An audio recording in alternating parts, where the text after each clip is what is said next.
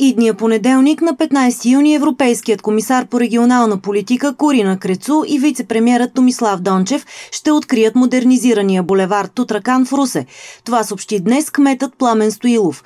Трасето има разрешително за ползване и вече поема интензивния трафик.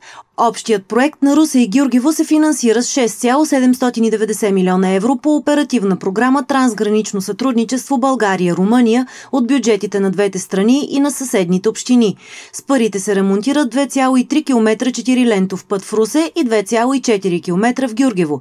Строителството трябваше да завърши до 13 януари тази година, но от общината поискаха управляващият орган на програмата да удължи срока заради неблагоприятното време и непредвидени проблеми има един закон на Мърфи, който казва, че когато си мисли човек, че няма какво повече лошо да се случи, то то се случва.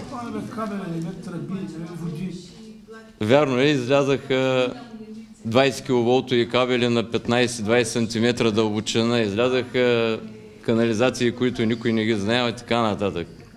Новооткритото трасе ще подобри достъпа до паневропейските транспортни коридори в общия еврорегион Русе-Гюргево. Ще се улесни трафикът край Дунав мост и към Силистра.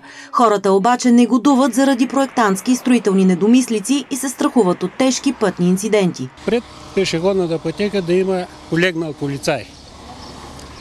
Нали, защото вечер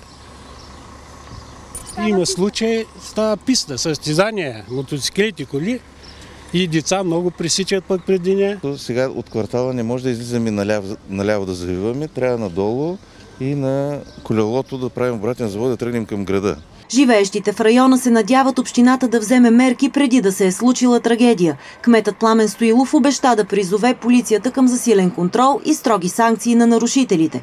Булевардът предизвиква към високи скорости неразумни шофьори, които изобщо не се плашат от видеокамерите. През новия програмен период Руси и Георгиево ще депозират съвместни проекти за 20 милиона евро.